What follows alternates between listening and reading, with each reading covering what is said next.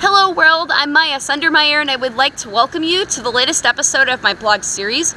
So far I have shared my experiences with you of what it's like for me to live on the spectrum.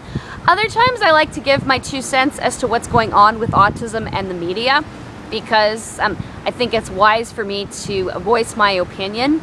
And finally, I also like to cover topics that I am passionate about that have absolutely nothing to do with autism whatsoever. And speaking of which, I wanted to mention that this is the 2nd of June 2015, and that means that uh, Dragon Con is a couple months away.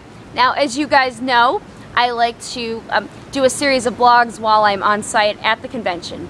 And if you are going to be in the area and if you really like to show off your costume or if you want to talk about how to play Dungeons and Dragons, I'd be more than happy to interview you because uh, that's how Dragon Con got started.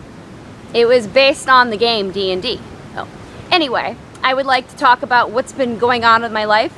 So, as you guys know, things have been really, really heating up for me in my life and I'm very excited about it since October of 2014 when I started working for the Center for Leadership in Disability at Georgia State University.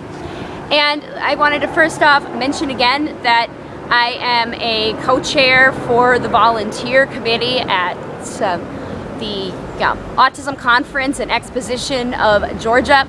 Now that conference had debuted a couple of months ago uh, down in Macon, Georgia, and it is a statewide conference where we have a team uh, collaborating from different organizations like um, the Marcus Autism Center and Autism Speaks and the Emory Autism Center and various stakeholders, just the Atlanta Autism Consortium, and you name it.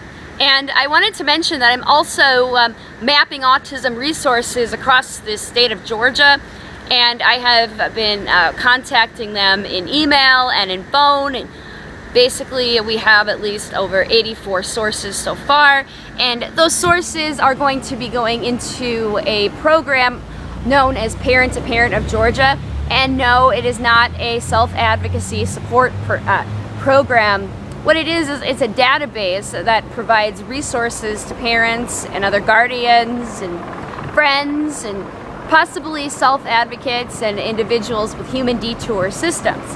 And uh, based on all of the resources that I am mapping, I am going to be sending those, or we're going to uh, update those into Parent to Parent of Georgia. Now here's the really exciting part.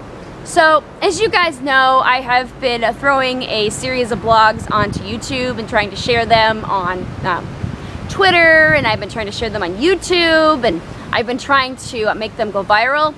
Well, guess what? I wanted to uh, let you guys know that I decided to uh, map out my resource as well, which is Hello World with Miyah Sundermeyer, because I thought that would be good for familial support and community services and transitions into adulthood and adult uh, services and supports and just basically all across the board and inside of the 10 areas that are critical to the autism plan of Georgia. So again, I'm really excited about it and I hope that uh, for those of you that are new, you guys will really enjoy this video and you will really um, uh, accomplish something from hearing what I have to say. So until next time, I'm Miyah Sundermeyer and I'm signing off now. Bye.